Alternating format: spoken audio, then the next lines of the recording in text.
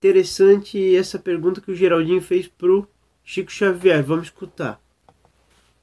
Ao Chico, algumas vezes, se ele era Kardec, porque toda a minha família de Pedro Leopoldo, né, que, que havia convivido com ele desde a infância, todo mundo falava que ele era Kardec. Então eu me lembro de uma vez que eu falei com ele assim: Chico, posso fazer uma pergunta? Ele falou assim: pode, mas me olhando fixamente no olho, né?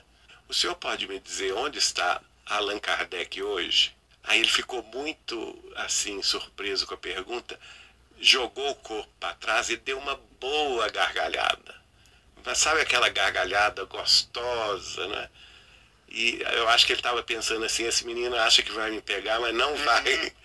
né? E aí ele solta aquela frase assim, cônica, que ne, nem diz que sim, nem diz que não, que ele, fa, ele falou assim, olha, Geraldinho, pode-se dizer que ele anda trabalhando muito.